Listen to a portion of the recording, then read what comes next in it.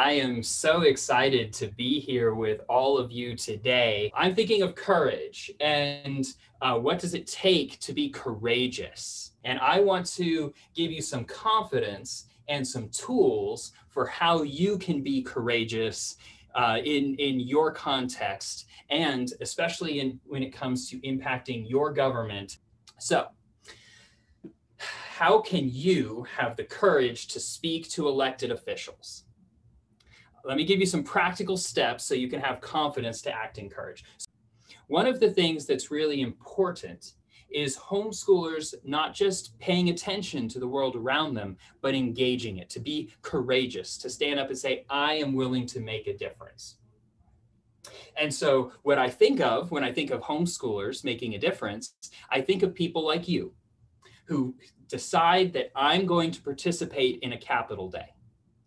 I'm going to go out of my way. I'm going to carve time out of my schedule and go and meet elected officials so that they can put a face to the idea of homeschooling. So they can be held accountable when they're thinking about regulating homeschooling, that they're going to think of you.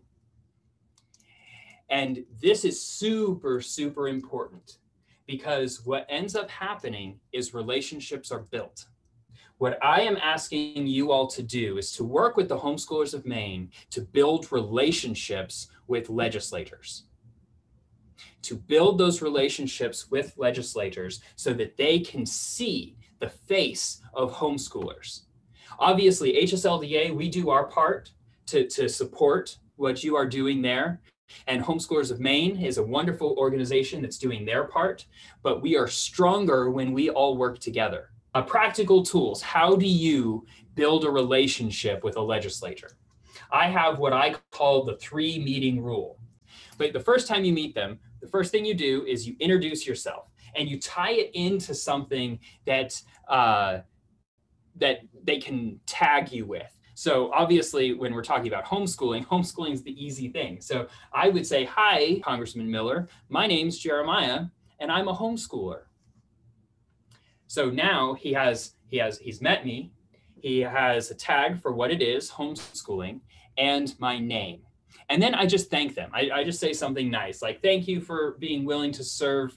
Uh, your community. Even if I disagree with them on everything that they're doing, I can say thank you for having a heart of public service. I, I just want it to be a warm interaction. I'm not asking them for anything at this point. I'm just introducing myself. This is meeting number one. Introduce yourself, give them something to remember, AKA uh, homeschooling, and thank them for something. That's meeting number one. Meeting number two, reintroduce yourself.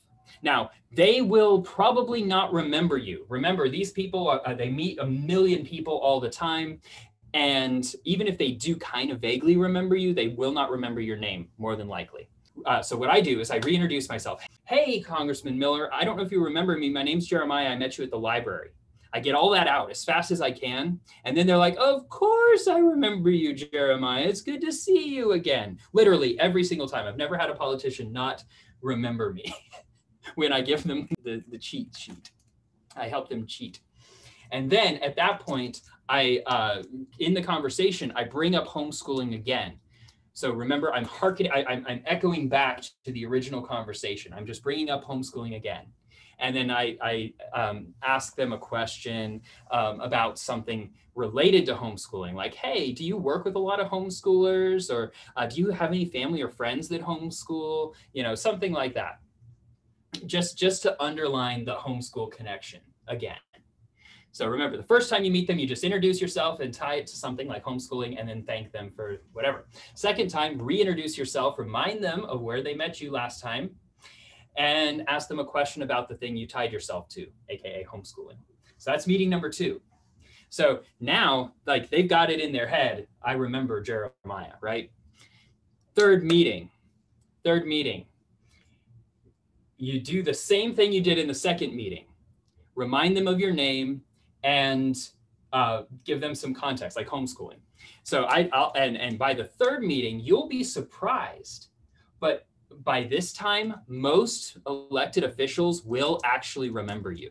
They may not remember your name, they may not remember all the details, but if you give them enough, they'll, they'll probably remember your face by the third time. And so uh, now you have gone from being a random citizen, which is where you started, to being a valued member of the community. You, now that you're a valued member of the community, now you have a voice.